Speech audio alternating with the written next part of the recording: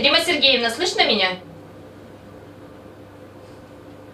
Рима Сергеевна, 41 год из анамнеза.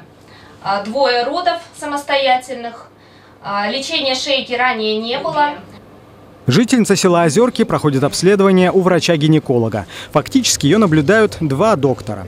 Второй находится в 50 километрах перед своим монитором. И это один из ведущих специалистов Барнаульского диагностического центра.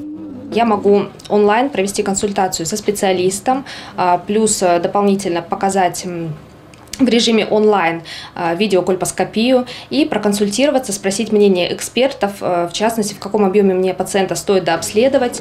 Все благодаря вот этому устройству стоимостью больше миллиона рублей. Его установили на один из мобильных медицинских центров, второй год действующих в крае.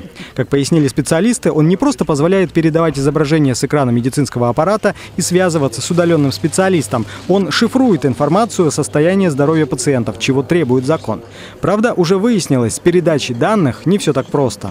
Если мы говорим про, э, так скажем, районные центры, здесь проблемы со связью, как правило, нет. А если это трудно, э, так скажем, доступные какие-то районы или отдаленные населенные пункты, то возникает проблема просто с организацией связи.